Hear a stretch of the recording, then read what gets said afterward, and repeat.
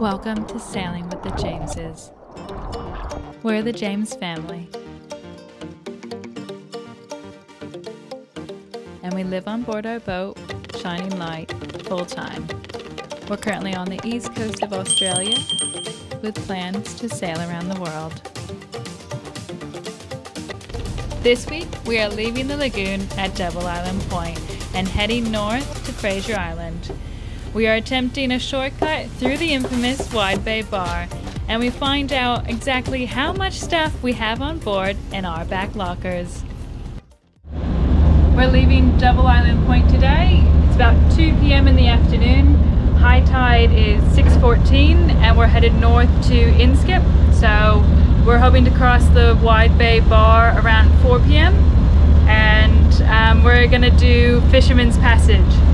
We've heard a lot about Fisherman's Passage and we've always wanted to do it and always wanted to check it out. So we're now in a boat that has plenty of draft, uh, less draft I should say, to do it. And um, we're, yeah, we're super excited.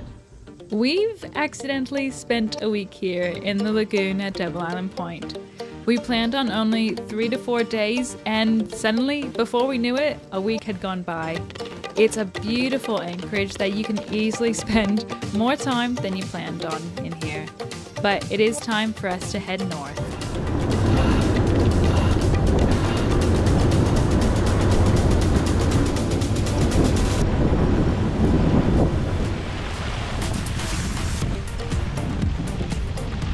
So the passage that we're taking right now is actually a shortcut. So normally people will go out and then come in through the passage and this is just a shortcut that we're doing this way. Have we ever hit the bar? Yes, yes we have. No, it was not in a boat that we owned. No, we were not driving, but yes, we were passengers on board and yes, we hit it at full speed and um, it's quite an experience to hit the bar. Um, come to full stop and the whole boat goes to its side and we were we hit it good. Uh, we didn't hit it. I just want to make that a really, really good point. We were not driving and it was not a boat that we owned. but um, it's pretty well known and uh, yes, people do hit the bar. Seven knots, saving money, taking a shortcut.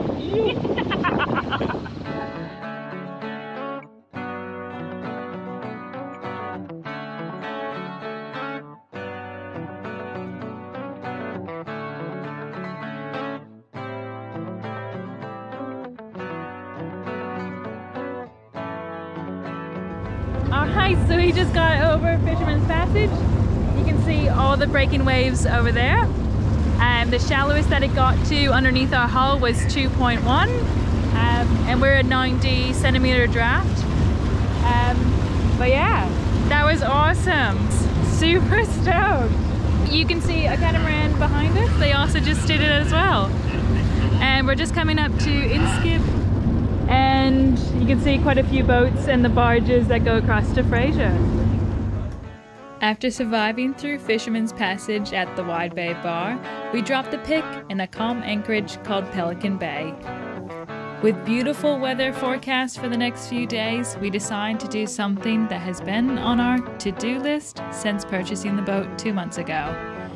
And it's to go through the back hatches and bring out everything that's stored in them to see exactly what we have on board and to sort them out.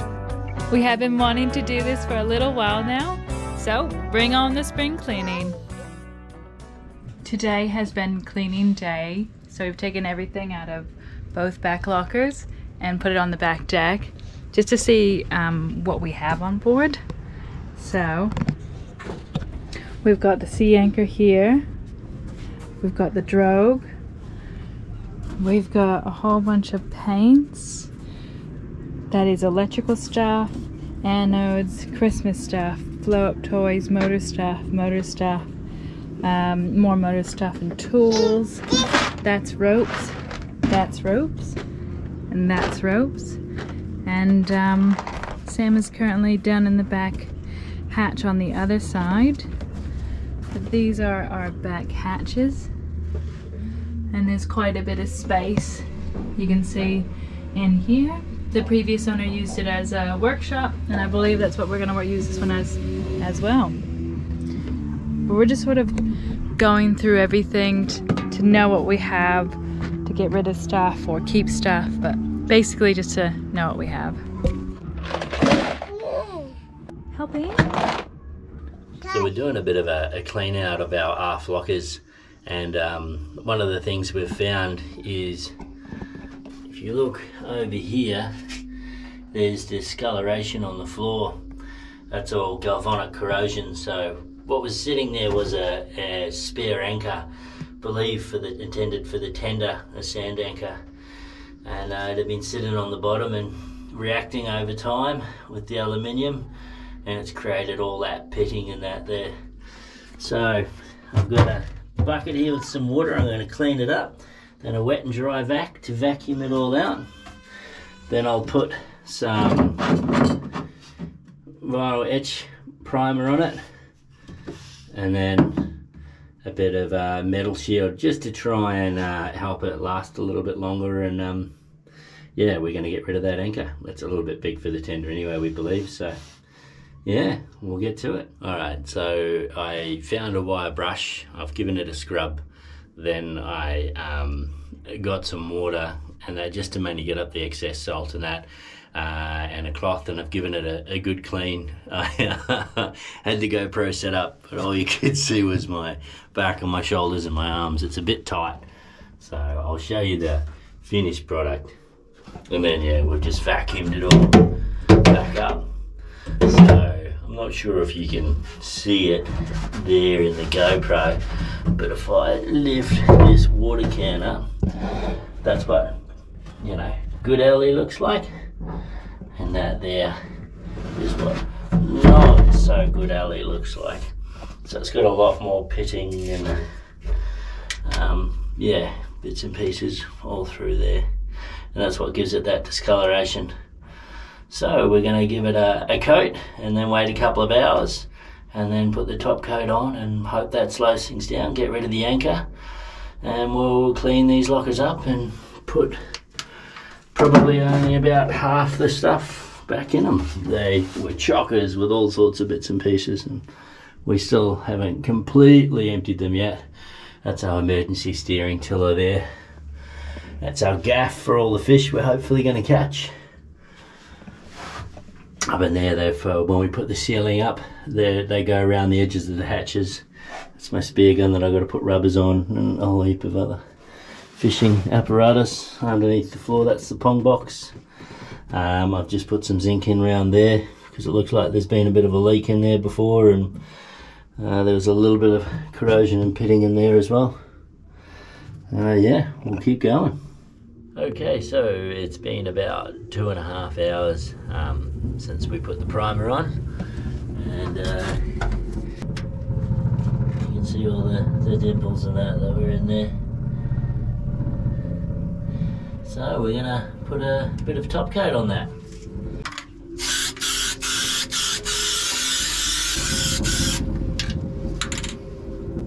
Uh, we'll let that dry and we'll put another coat on. Alright, that there is the finished product. So it wasn't too bad, it was only slightly pitting. I just wanted to do something straight away just to protect it and yeah, make it last as long as we can. So we're at the stage where it's time to load the back lockers up and there's a couple of things that we're not going to keep that uh, some people uh, may have thought it would be important to keep. One of those things are all of our charts. Now we've got a very large chart portfolio on here and um, when we got the boat I thought it was absolutely fantastic but now uh, the way we're going is going to be more electronic. Uh, the reason being is they're, they're quite heavy, they take up a lot of space and the truth is we're just not using them. But anytime you take away one layer of safety you always want to replace it with other layers. So instead of doing the charts, we have three devices that uh, all have individual GPSs with uh, Navionics and Zulu waterways and access to the internet on. We are also going to be getting another chart plotter Um, we also have a GPS unit going through our HF. So that there has its own GPS aerial and that'll be a standalone system. We're going to get a plotter with another GPS aerial and a standalone system and we're also going to get some kind of satellite communications whether that's Starlink or something like that. We're not 100% positive yet. We're still doing our research, but that's the way we've decided to go instead of charts. I was going to keep routing charts on board, just they're the larger ones with the major ocean passages because it's so much easier to see a large screen. And we've decided not to do that now. We've got a dongle, a separate dongle for a GPS feed into our laptop, that with satellite communications, and we're going to have a world map on our table. So if it is a catastrophe, we can start looking at that. We don't have a sextant on board, and on our last boat we did. Uh, we, I have been trained how to use it, and we do have all the books, but on this one, we're not going to do that. Um, we'll have the satellite communications instead, and um, they will be our layers of safety instead of the charts. Now, another thing that we are getting rid of is our para anchor. So we've got a para anchor with its own rode, 28 mil rode, and a drogue. We're going to keep the drogue because we believe that's important if we do get caught out. But sea anchors are very big, very heavy, with a very big 26 mil bridle with a stainless steel monkey plate, and it's all very heavy. And when we do deploy it in rough weather, it'd be very hard to get back on board. So we've decided that if we do have up to date weather forecasts, and then in a worst case scenario, if we do get caught out, we do still have a drogue.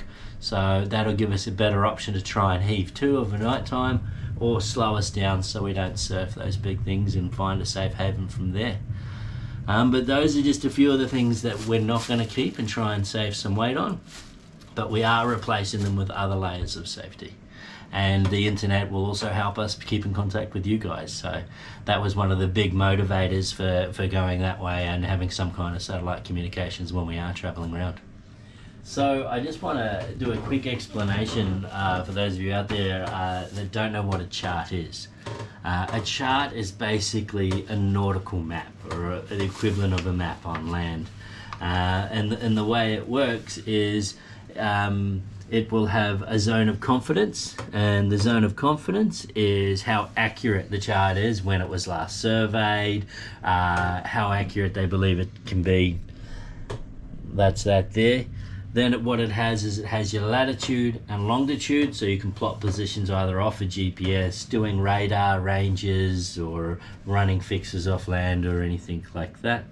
Um, with charts, though, what you need to do is there's a thing called Notice to Mariners, and they come out every two weeks, and you correct the charts. As we're going through. This chart here was published in 2000 and 11 and it has the first two corrections of 2011 in it but it hasn't been corrected since then.